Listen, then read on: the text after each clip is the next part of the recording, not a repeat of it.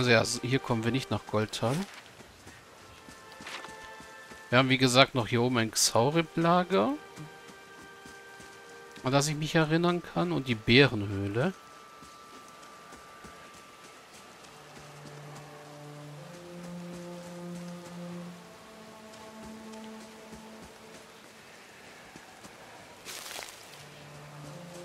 Not a sound. So, das Xaurip-Lager. Wie viele Xaurips haben wir denn hier?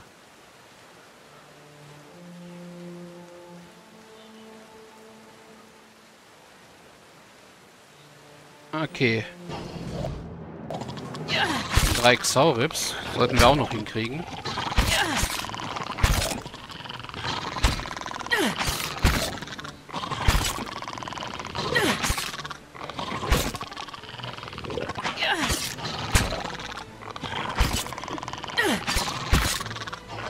Sind wir nur leider flankiert.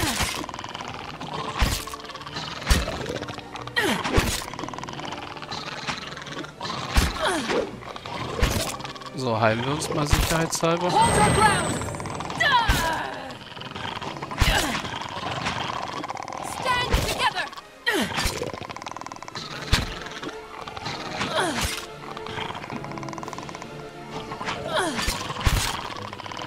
So, jetzt sind wir schon mal nicht mehr flankiert. Was gut ist.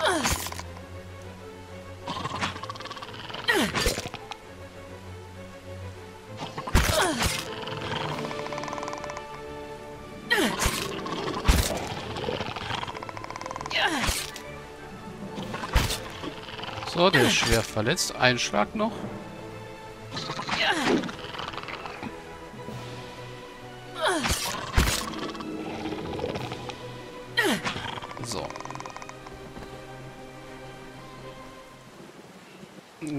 Sollten sich unsere Ausdauer erholen, ja? Wir können die Xaurips plündern. Xaurip-Zunge, Schilde, alles. Die Verstrebungen und Verstärkungen sind groß genug, um Rippen und Wirbel seines Drachen sein zu können. Ja, gefütterte Haube Goldsuel. Die Suel ist die kleinste Goldmünze der Valianischen Republik und wird für Transaktionen mit hohem Wert benutzt. Deswegen ist sie auch 9 Kupferpfand wert. Also zwei Stück sind 18 wert. Das gibt uns langsam einen kleinen Groschen hier an Geld.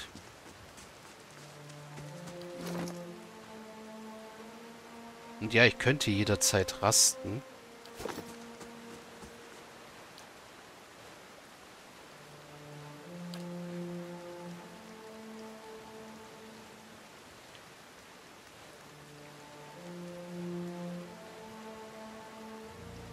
Ja, ein Rastvorrat wird dabei aufgebraucht. Ich könnte jetzt genau wählen, was ich dabei haben möchte. Achso, das sind die Sachen, die ich ähm, durch Überleben kriege. Die Überlebenschance ermöglicht dem Charakter aus einer Reihe von langfristigen Boni zu wählen, wann immer er rastet. Die ersten sechs Ränge verleihen die folgenden Boni. Mhm.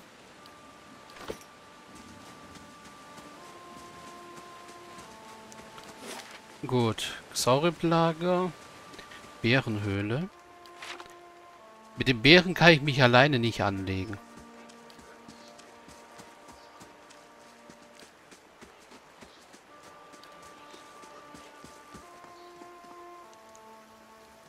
Ich würde eigentlich gerne das Inventar zuklappen, wenn es gehen würde. Pro Ruhephase. Ah. Pro Begegnung, okay.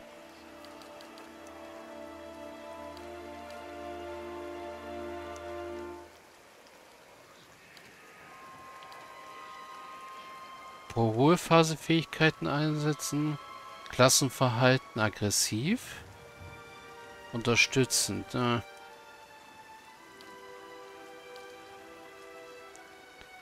Selbstverteidigung greift nur an, wenn er von einem Feind angegriffen wird. Nachdem dieser Feind besiegt wurde, sucht er sich einen neuen Gegner. Ist gut. Ja, Selbstverteidigung ist immer noch am besten, finde ich. Das kann man am besten kontrollieren. So, dann geht's jetzt von Talholz erstmal nach Goldtal. Alof und Edea einsammeln.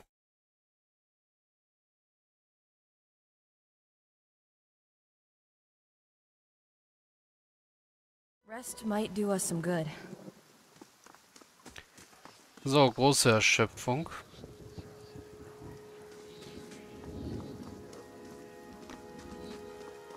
So, und hier ist Goldtal.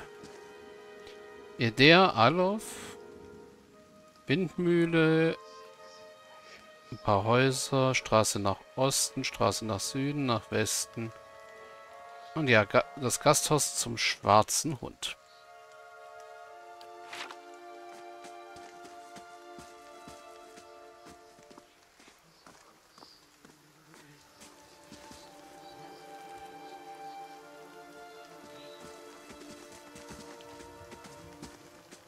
You must be one of the new settlers.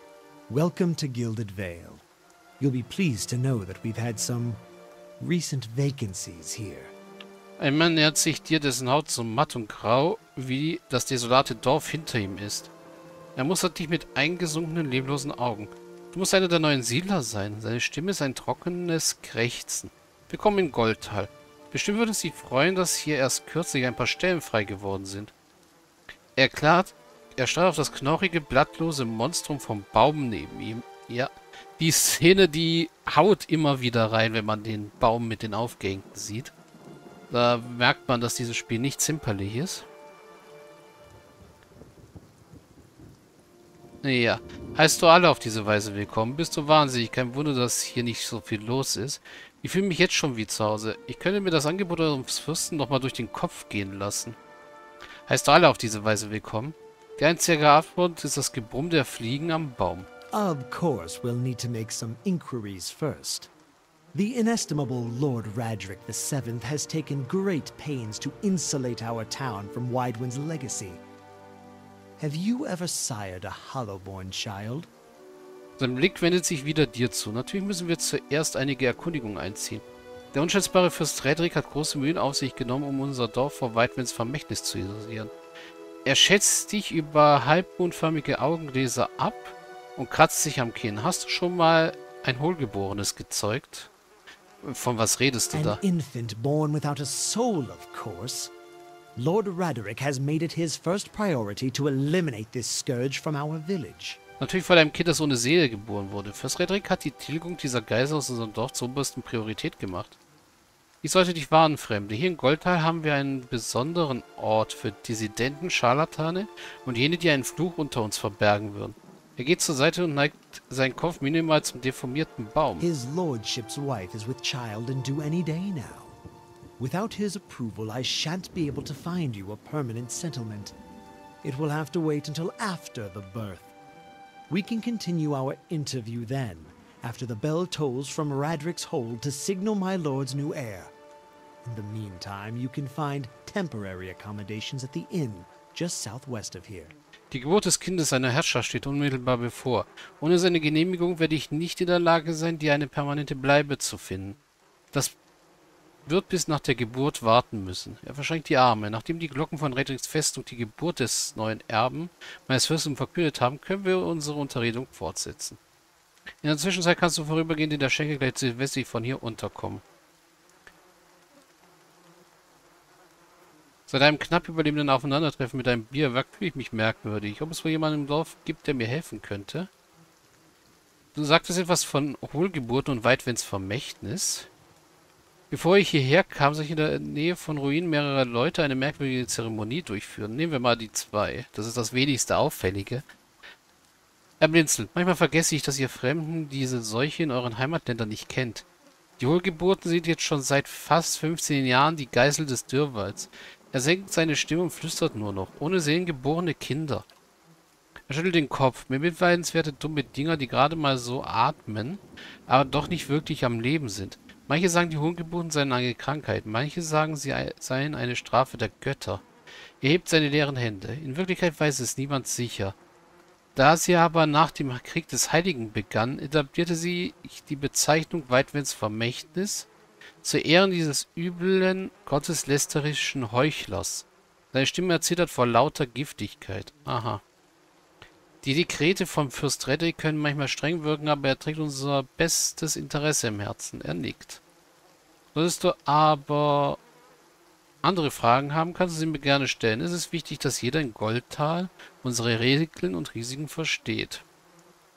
Ja, fragen wir mal jemanden, ob mir jemand im Dorf wegen dem Seelenproblem helfen könnte. Whatever your problem, it sounds like a matter for an animancer.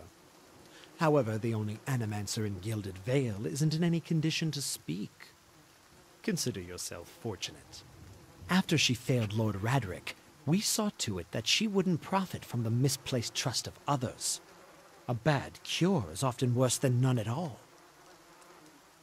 Der Magistrat wirft die Stirn in Falten. Was auch immer dein Problem ist, es klingt nach einer Angelegenheit für einen Beseeler. Die einzige Vertreterin dieser Zunft in Golta ist aber nicht mehr in der Lage zu sprechen.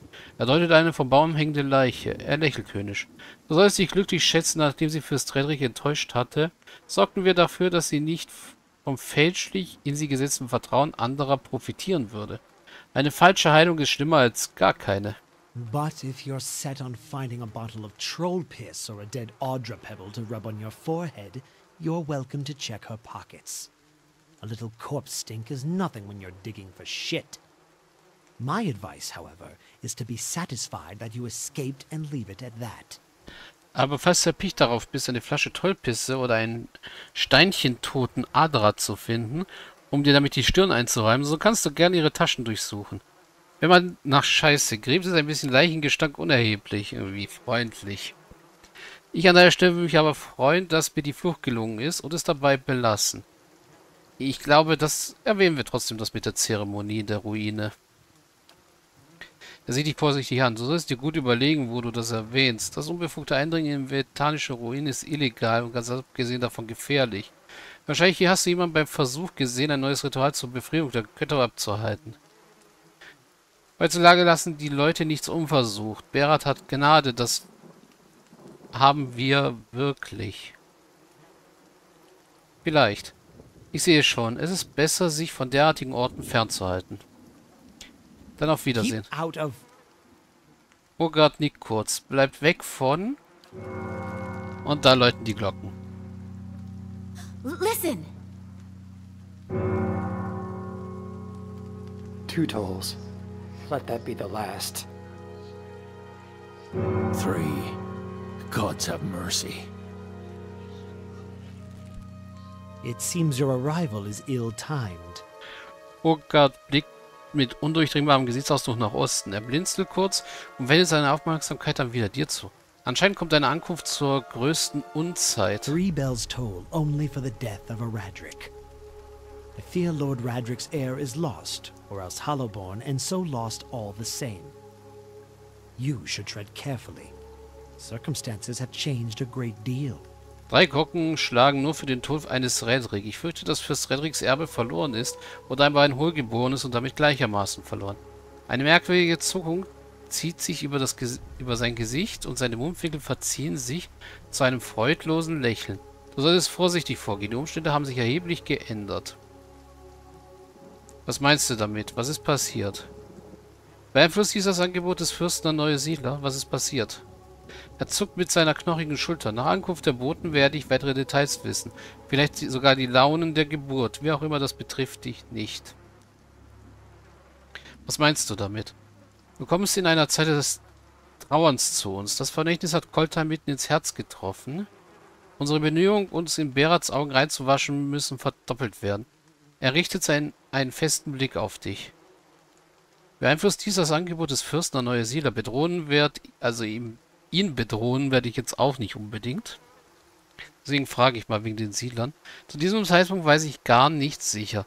Du solltest dich etwas ausruhen in der Schenke oder meinetwegen auch in einem Stall. Komm danach wieder zu mir. Ich werde schon früh genug mehr wissen. Ja, Goldtal. Abgeschlossen. Magistrat Urget, Urget schlug mir vor, in der Schenke abzusteigen, während er für mich nach einer geeigneten Unterkunft sucht. Alles hier verharrt im Stillstand, während er auf Neuigkeiten über das Schicksal von Fürst Redricks Neugeborenen wartet. Anscheinend bleibt mir, bleibt mir kaum etwas anderes übrig, als abzuwarten. Ich habe das Talholz erreicht. Das auf Goldtal liegt direkt vor mir. Endlich habe ich Goldtal erreicht. Das ist nicht unbedingt das, was ich erwartet hätte. Ja. Das heißt, wenn wir jetzt mit looking reden... Uh, I could introduce you.